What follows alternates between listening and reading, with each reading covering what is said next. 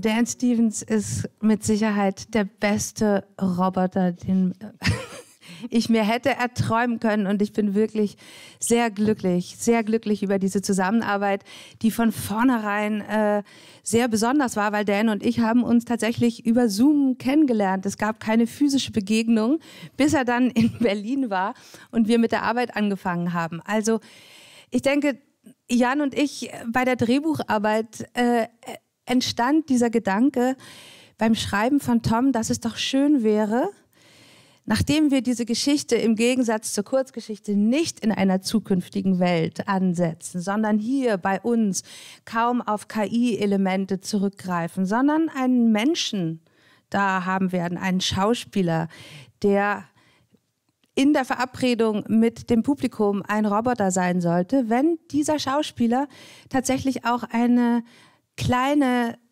einen kleinen Geschmack von Fremdheit, von selbst mit brächte. Und so haben wir eigentlich überall im Ausland nach jemandem gesucht, der A, so gut Deutsch sprechen musste, dass er bei diesen komplizierten Texten von Dan nicht einen Knoten in der Zunge kriegt, wie es wahrscheinlich jedem Muttersprachler auch gegangen wäre.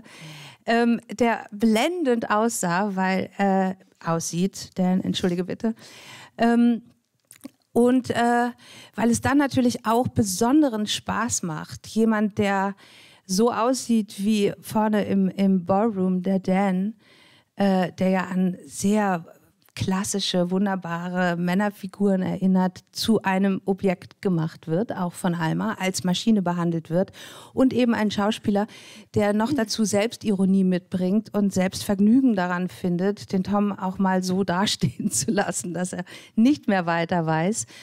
Und dass man, obwohl man nicht vergisst, dass er eine Maschine ist, trotzdem den Charme hat, sich in ihn zu verlieben. Und, äh, und deswegen bin ich wirklich glücklich, dass es dazu gekommen ist mit Dan.